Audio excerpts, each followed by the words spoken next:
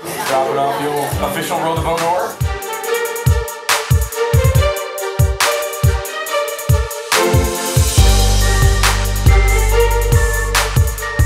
We just want to uh, give you uh, one of the first official, brand new, hot off the press, painted paint job, one of the first official Row the Boat doors.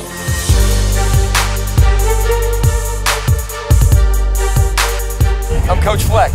Nice to meet you. What's your name? John. John? Nice to meet you, man. What year are you? Uh, I'm a senior. We'll do everything can to take you out with a bang, huh? I just want to say thank you very much for all that you do. It means the world.